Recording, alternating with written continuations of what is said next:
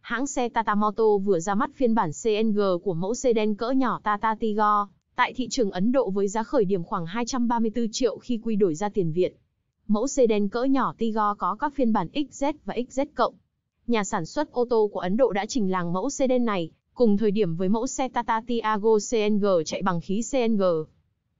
Tata Tigor CNG được trang bị động cơ xăng Revotron 1.2 lít 3 xi lanh. Động cơ này ở chế độ CNG được điều chỉnh để tạo ra công suất tối đa 72 mã lực và mô men xoắn cực đại 95 Nm. Biến thể Tigor CNG mới chỉ được trang bị một tùy chọn hộp số duy nhất là số sàn 5 cấp. Dòng sản phẩm Tata Tigor hiện tại gây chú ý, với ngoại thất có lớp sơn bóng màu đỏ magnetic mới.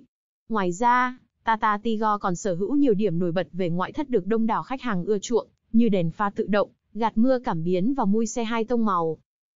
Nội thất của xe cũng không kém phần ấn tượng khi cabin của Tata Tigor CNG mang một diện mạo mới, với hai màu chủ đạo là đen và be cùng với ghế bọc vải mới.